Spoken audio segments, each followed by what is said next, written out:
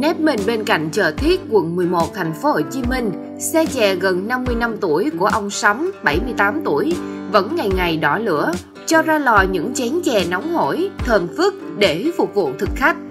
Ôm cái này của ờ, ba đi chuyện ngoại mà. Hồi đó ba đi làm á, rồi ba đi bắt rồi. Dạ, sáu bảy món nữa. À. Có uh, bò mò bạc quả, với hột gà trà, đậu xanh, đậu đỏ. 8 giờ mới đầu nấu rồi, nấu tới 12 giờ nghỉ đã xong, xong rồi dọn hàng, 3 giờ dọn hàng, 3 giờ mới đầu bán rồi, bán đến 10 giờ nghỉ rồi. Xe chè có cái tên đơn giản, đồ ngọt này là cách để ông sống nối nghiệp cha mình và gìn giữ cái nghề đã từng nuôi sống cả gia đình.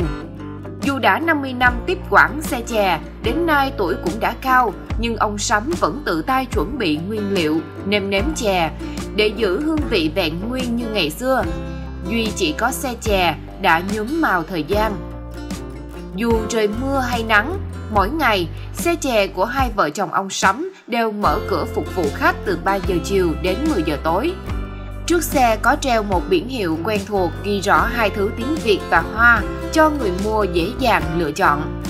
Bán ở đây là ăn từ hồi lúc còn nhỏ là tới giờ luôn. Tại vì nhà gần đây cứ sạc ra không biết tính nhiêu tuổi. Bây giờ tôi là năm mấy tuổi rồi, suy nghĩ là mấy chục năm. Cũng không mắc, cũng bình thường. Đối với lại như theo thời bây giờ thì giá tiền theo thời giờ, còn hồi xưa theo thời xưa vậy thôi.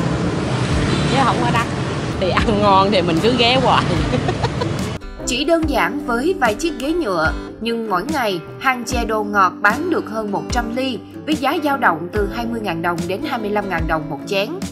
Cũng từ xe chè đơn sơ với những chén chè nóng hổi đã nuôi các con ông Sắm ăn học thành tài và tất cả đều đã có việc làm ổn định.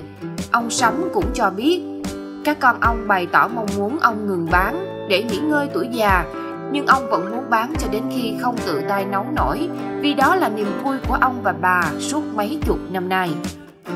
Chưa nghĩ được đâu, đi làm chừng nào làm không được rồi thôi chứ ở nhà làm gì ở nhà buồn lắm.